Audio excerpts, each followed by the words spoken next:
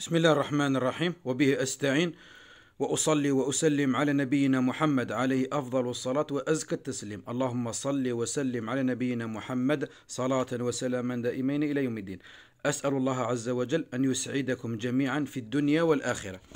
لازلنا في دروس التربيه المدنية لسنة الخامسة ابتدائي الجيل الثاني. أتعلم الإدماج. صفحة 24 التمرين الأول. أجب باختصار. لماذا يس يستنفر الإنسان ويقفز إلى هاتفه المحمول لرؤية كل تنبيه جديد يصله؟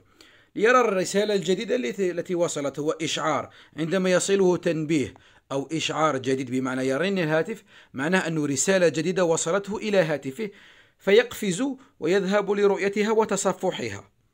طيب لماذا أصبحت الرسائل النصية أكثر شيوعا من الأحاديث العادية؟ لأن أغلب الناس أصبحوا يستعملون مواقع التواصل الاجتماعي وأصبحوا يرتاحون ويستعملون أكثر هذه الرسائل النصية. لأن أصبحت بالصورة أصبحت أصبحت بالمشاهدة. ربما في البداية كانت عن طريق الكتابة فقط الآن أصبحت عن طريق الصوت والصورة. هذه الرسائل الرسائل عبر وسائل وسائل التواصل الاجتماعي هل تضر الهواتف الذكية بالعلاقات الإنسانية؟ لا.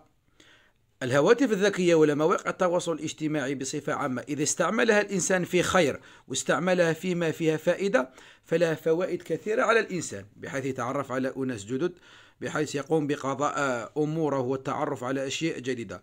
إذا استعملها في خير وفيما فيها فائدة فلها فوائد ولها أمور أمور خيرية كثيرة.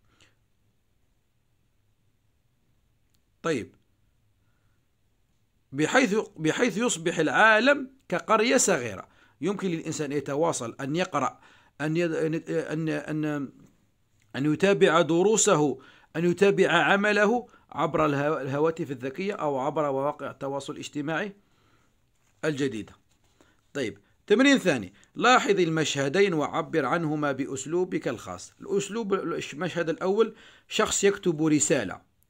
يكتب رسالة عن طريق الورقة والقلم والصورة الثانية شخص يتحدث مع شخص أو يتحدث مع مجموعة من الأشخاص عبر مواقع التواصل الاجتماعي أي الطريقتين في التواصل تفضل؟ أكيد نفضل طيب كل طريقة ولها نكهتها ولها طابعها لكن حاليا ما دمرنا في في العصر العصر العولمة وعصر التطور تطور استعمال التواصل عن طريق آه، التواصل الاجتماعي الحادثة أفضل لأنها تختصر الوقت وممكن التواصل مع مجموعة من الناس في في في فترة واحدة بخلاف الرسائل.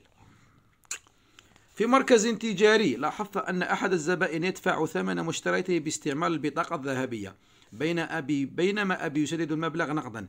فتفاجأت وسألته لماذا لا تملك مثل هذه البطاقة يا أبي؟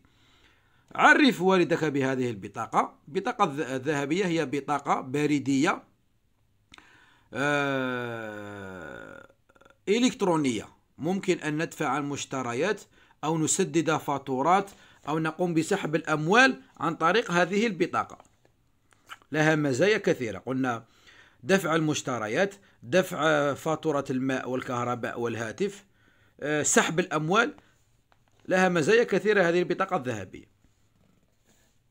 تمرين رابع. قارن بين الحالة المدنية الإلكترونية والحالة المدنية التقليدية من حيث الوسيلة والجهد والوقت. الحالة المدنية الإلكترونية وسيلة آه، جديدة وسيلة متقدمة آه، حديثة بينما التقليدية قديمة قديمة.